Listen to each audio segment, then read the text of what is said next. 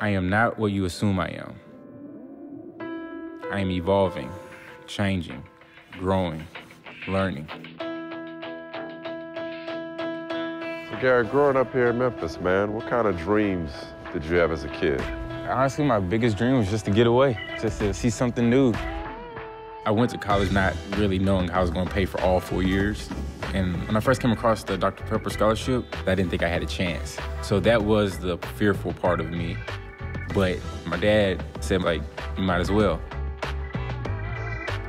How did the overall experience of the Dr. Pepper tuition giveaway change your life? Dr. Pepper gave me something that's priceless. Honestly, the $100,000 in tuition was great, but it wasn't what I received the most benefit out of. They really just erased the fear factor out of my life completely now. It just finally opened my eyes to an entire new world, actually allowing me to embrace my true inner talents of art. Also, to see what can I do to give back. I want to create change in Memphis, give them opportunity to grow beyond what we have here, become like a center of the art world.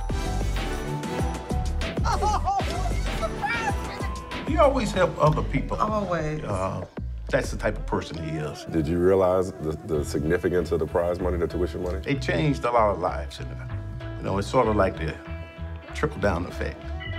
Mother don't have to pay tuition anymore. And mother's retired in December. How's it feel to be famous? I'm not famous. Yeah, you will. you will be soon. Don't forget the little people when you blow up, all right? Dr. Pepper changed my life. Who's next?